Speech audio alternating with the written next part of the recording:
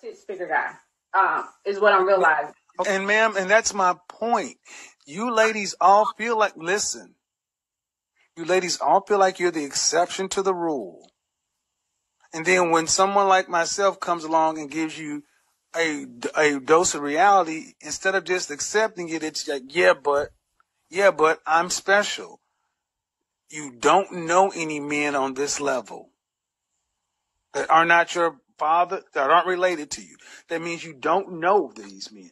You don't know where to go get them. You don't know what they want.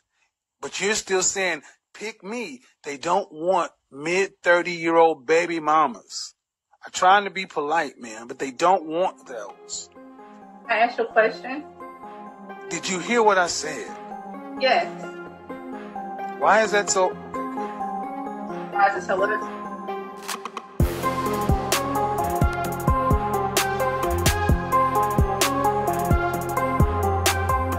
What's up, folks? So, not to pick on any particular women, but specifically black women. Black women really think that because they have amazing body, which they do, right? They are a gift from God, and that every man should should just accept them, despite their attitude, despite their past. Every man should accept them. This is why a lot of women are unhappy, is because they base their self worth uh, based on the money they make. A successful man does not really care about how much money you make. The exchange is your youth. The exchange is your ability to be a mother. The exchange is your ability to nurture and breathe healthy children. So a successful man have a total different way of looking at or evaluating. He doesn't really care much about what she's doing and how much she have. He cares about the qualities that she has. Okay? So, and that's the problem with a lot of women. A lot of them are unhappy because they are unable to self-evaluate themselves properly from an internal perspective. They are not able to actually be truthful with who they are.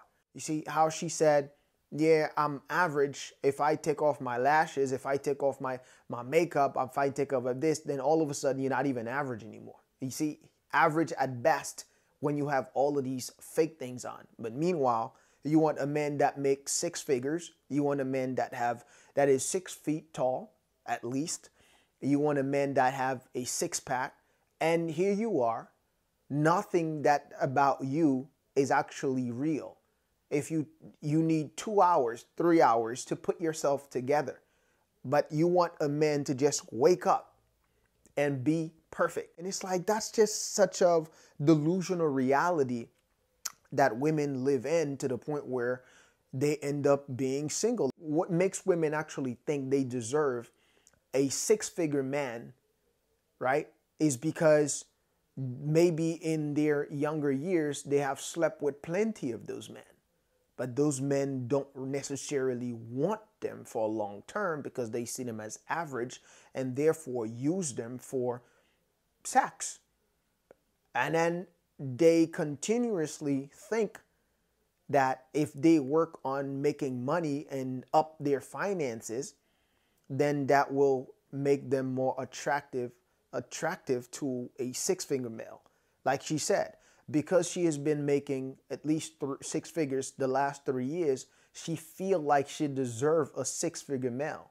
Meanwhile, she is a single mother, 35 year old, and she think that her body actually she is suffice. You see, her face is average, but she said her body is not average. It's like literally black women really think that having a nice pair of titties and a nice perky butt is an all access pass to every man's heart.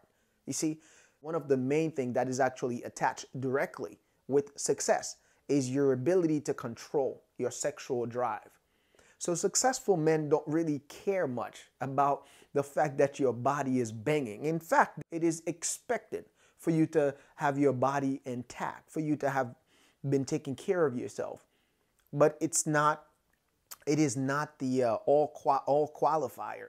And I think that's what women actually uh, uh, kind of miss, and they don't really understand that because they're not judging the situation from from a from an objective view. You really just hit her up with a brick of reality. And she really didn't know how to take it. So she tried to go around and trying to flip the conversation to the point where he just got upset and said, It's this is just not working. You see, I don't think a lot of men are on the internet making videos on the topic of women to actually destroy their image in, in a way and speak in a condescending way about them to put them down for whatever reason. I don't think that's the case. The whole idea is we're trying to find a way to create some balance. Because believe it or not, it's the masculine men that's going to bring back balance into the world.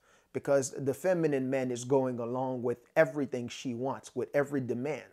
The masculine man is saying, no, you either do it this way or I'm not with you. And she has to conform. That girl literally represent the majority of women, of black women that are single mothers, especially if they're single mothers. They think because they have money, they have a nice job, they are they have a their their titties are still perky and they still have a nice butt. They think they are the you know, the ultimate gift to a six-figure guy. They, she literally said she don't think a 20-year-old has anything to do with, anything to bring to the table compared to her when the opposite is true. She don't have much to bring to the table.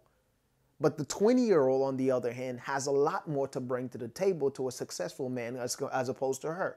So she is, she is completely delusional in in her own reality is that she attached her self-worth based on the fact that she's making a little bit of money. Because of that, she passed on men that she could potentially be happy with. Why? Because well, she feel like they're not making enough money. They're not six-figure men.